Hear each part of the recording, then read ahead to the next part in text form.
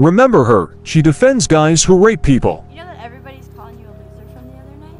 Who said that? Oh, everybody's talking about it. How you froze up and got booed off stage. Fuck you, Janine. Go home.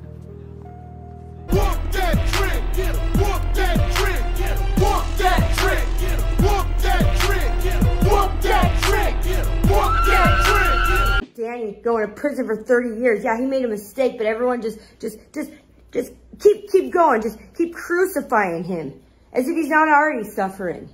He gets it. He got it. Leave him alone. And let's go. First off, I will never complain about a woman wearing makeup again. I get it.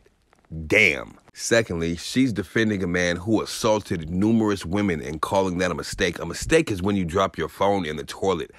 I did that. Never happened again. It was a mistake. Hey, Bill Cosby, what do you think about this guy? You have the wrong idea about him. he sounds like a pretty fun guy. I want to go out drinking with him soon.